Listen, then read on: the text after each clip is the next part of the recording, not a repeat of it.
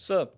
Today we're diving into two marketing platforms, MailChimp and Omnisend. In this video, we'll go over the general functionality of both platforms and compare them hand in hand. Whether you're just starting out or looking to level up your e-commerce game, these platforms have got you covered. But which one better suits your needs? I don't know, let's see. Let's kick things off with MailChimp's dashboard and discover what makes it special. MailChimp is like your creative partner. It offers easy to use tools for designing emails, segmenting your audience based on their preferences, and more. So here we are on the MailChimp website and let's and let's check out their pricing. So their pricing is based on how many contacts you have, which is a standard practice in the industry, and the prices may vary depending on your contact list. Their plans start at $13 a month. Different plans on their website offers different functionality. For example, you can now find the address finder, purchase likelihood, customer lifetime value in the essentials or the free plan.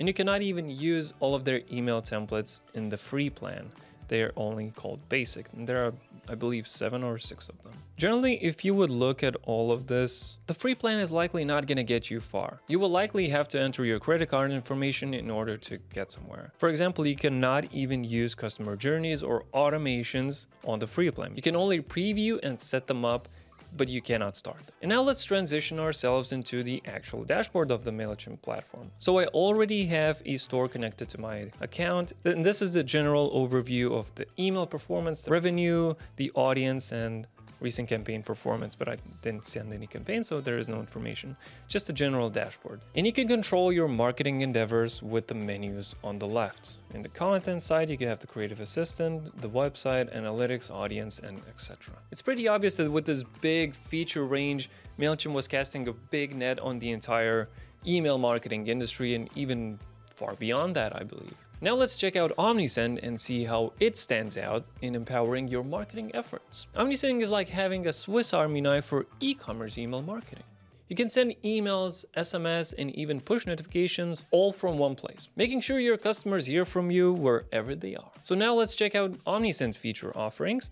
And if we scroll by a little bit further, you can quite clearly see the difference on Omnisend's side.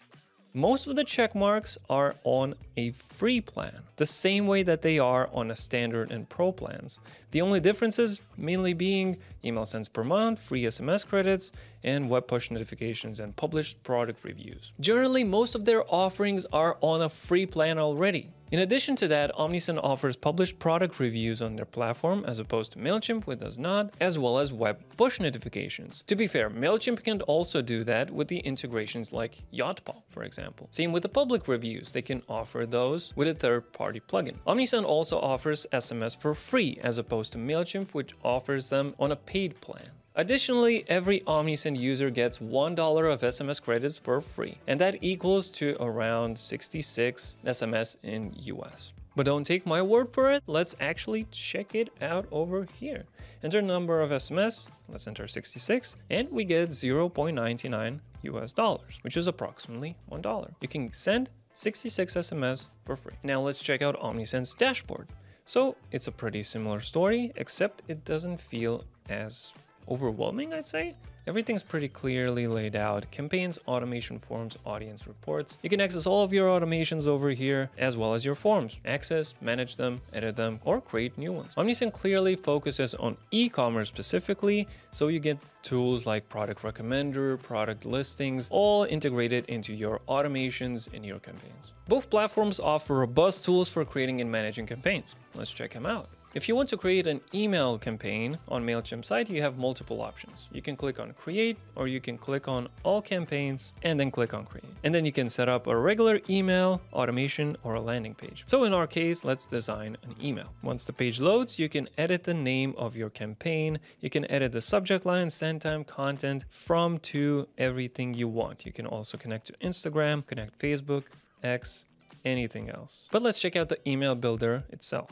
Let's go to design email. And as you already saw, there are multiple free templates that you can choose from. And you can see them by clicking over here. These are the templates MailChimp offers for free. But if you want to upgrade your plan to a paid one, you can click over here and see what you would get with that. For now, let's stick with free templates only and let's go with a natural one. And this is the email template that we're going to work on. So in the email itself, you can add a spacer, a divider, a heading text, image, video, code, product listing, anything you would expect from an email. You can also change the overall style of the email. You can also set a default font, like for example, Times New Roman, and you can also optimize the email based on industry trends.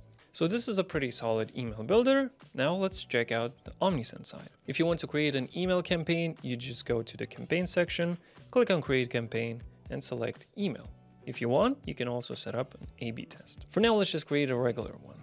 And we're also gonna call it test. Let's uncheck that and let's just choose an email template. When comparing to MailChimp, Omnisend offers way more templates on their free plan. Actually, all of the templates are free to use, either you're on a free plan or a paid one on Omnisend, as opposed to MailChimp, which offers seven basic ones and then everything else is behind a paywall. And so now we can check out a bunch of these templates. We can also use filter them based on holiday, based on automation, business finance, or some special occasions like a birthday, for example. And let's actually set up a birthday email.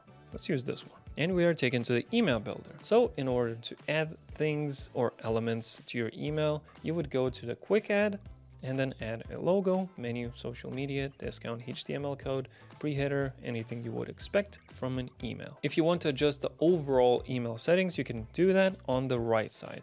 You can change the background color, you can change the button styles, you can change the canvas width, and you can also change the elements themselves based on whatever you selected. Like for example, this is an image, you get the options for an image. This is a text, you get the options you expect from a text. Overall, both of these platforms offer generally similar experience. Both platforms offer built-in sign-up forms to start building your mailing lists quickly and easily. Let's compare them. So on the MailChimp side, if you want to create a form, you would go to the audience section and then click on sign up forms. Or Alternatively, you can just click on create and we can choose from three different sign up form options. So that would be an embedded form, a pop-up form, or a sign up landing page. In our case, let's just create a simple pop-up. Let's also call that a test and let's begin. And we are taken to the form builder immediately. So the form itself is pretty simple. You get the header, you get the form input fields, and you get a button also an image on whichever side you would prefer. It can be at the top, it can be on the side, and it can be on the right. And it's all controlled in the layouts section over here. Now, if you want to enter more input fields, you would just click on the plus button and choose whatever you want. Now, there's also an additional step section. I don't know what it's called, but you can add an SMS signup, but it is behind a paywall. However, I have discovered a little bit of a hack to this. If you want, you can click on the plus icon and collect phone numbers.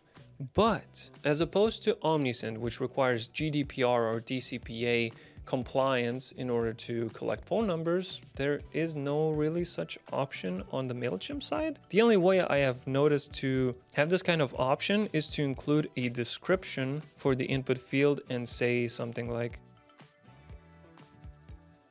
privacy policy link and then your link over here. So this is how you would go about collecting phone numbers of your customers, but you would not be able to send SMS to them anyway on a free plan.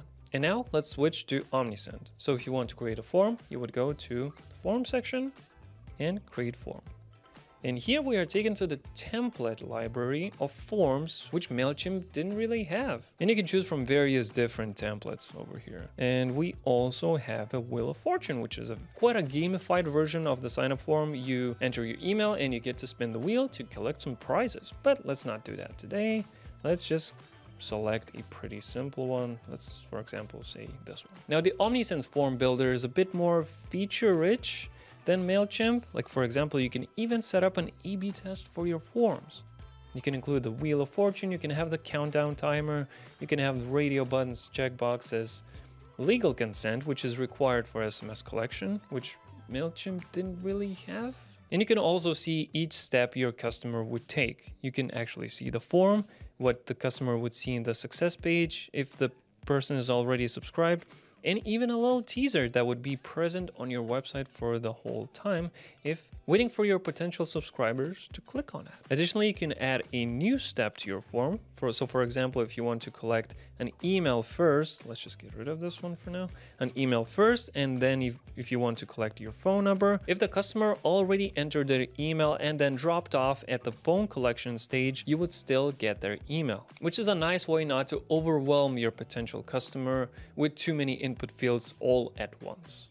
Automation and targeting are key players here. Let's check out how these platforms match up. On the MailChimp side, if you want to create an automation or a customer journey, you would go to automations and then let's choose pre-built journeys to see what MailChimp can recommend us. So let's welcome contacts who subscribed via your pop-up form. This is the welcome automation. It's a pretty basic stuff. So let's click over here and here we can preview what it would look like. So the trigger would be a contact sign up, signs up to the audience, send email one, and then a three day delay and send email two, add a tag, and then we add a tag received pop-up form offer. I would actually take the tag and add it first after sending the first email, which seems to already have the discount code over there. So let's actually go ahead and use this journey so we can adjust it to our liking. Let's continue.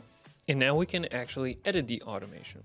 So let's do exactly what we said and take the add a tag one and move it up. Okay, so the editor is probably cut out what, it, what I was doing for the last like two minutes, but I was trying to figure out how to move a certain action to a different spot, but I I could not figure that out. So I guess you can add journey points, but it doesn't really matter if you're on a free plan because you would need to upgrade to continue because automations or journeys are not available on a free plan anyway. You can only preview and set up things, but you cannot start the actual automation. Now to add a journey point, you can simply hover over these plus signs and then add different actions or rules. I actually cannot figure out how to move the actions and also start the automation. So let's go over to the OmniSend side and see how they match up. On the OmniSend side, let's click on automation and let's create a workflow. Let's also create a welcome one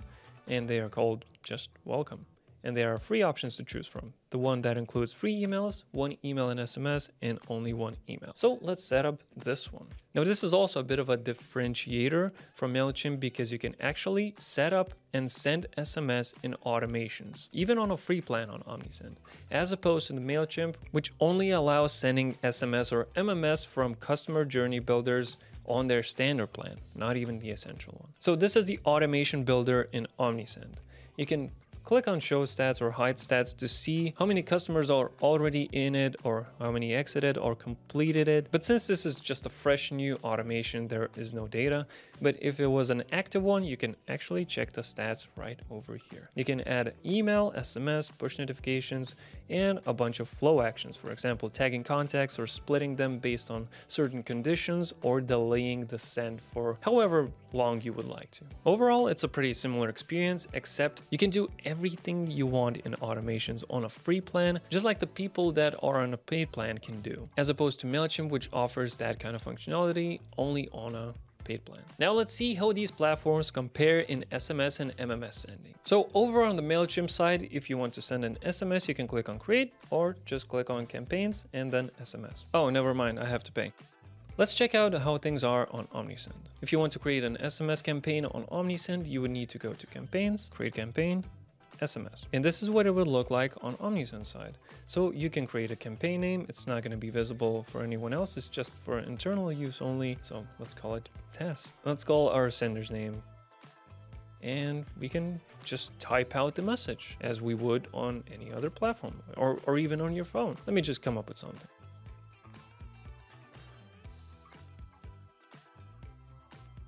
And there we go, we have successfully created an SMS. If we want to turn this into an MMS, we can just add a file over here. And it also automatically shortens links because message length in SMS matters a lot, so we want to reduce it as much as we possibly can. This is why basicbees.com slash shop turns into this short little link. And whenever we are ready to send, we can click on the next step and go through the whole process. Additionally, OmniSend also offers a bit more functionality in terms of SMS. So if you go to the store settings and go to SMS, we can also adjust multiple settings in the SMS options page. We can turn on or off the quiet hours. These are the hours that you would not be sending to your customers based on their time zone. And you can also set daily sending limits as to not overly spam certain customers. For example, you can enable it and set it to two SMS messages per day. You can even go even lower with one SMS message per day. Additionally, as I said before, you can even add SMS in automations. Integrating with your e-commerce platform is a breeze with both MailChimp and OmniSend. It takes just a couple of clicks with both of the platforms. Essentially, it's a click, click, install process and you're good to go. Whether it's Shopify, WooCommerce or any other platform, process is seamless. Now let's talk dollars and cents. MailChimp offers a lot of features and their lowest tier plan starts at $13 a month, with certain features restricted for higher tier plans, like sending MMS, advanced segmentation, sending SMS from customer journey, and content delivery by time zone to name a few. While OmniSend starts at $16 a month with barely any difference compared to a free plan, except for higher limits on certain actions. Because here's the thing, OmniSend empowers you to take advantage of their platform in its entirety on a free plan. You are welcome to send SMS directly or in automations, create and launch as many automations as you'd like, start A-B testing your campaigns, and sign up forms, use their virtually unlimited arsenal of email templates, all on a free plan. As opposed to MailChimp, which doesn't offer any of the aforementioned features on their free plan. In a nutshell, MailChimp and OmniSend offer everything you need to crush it in e-commerce marketing. Whether you're all about creativity, automation, or multi-channel strategies, these platforms have your back. While MailChimp is casting a much wider net with its robust feature set, OmniSend is much more focused on e-commerce merchants in particular. So which one is better? Well, Steve, it's up to you to decide. Thanks for watching, and now, choose wisely.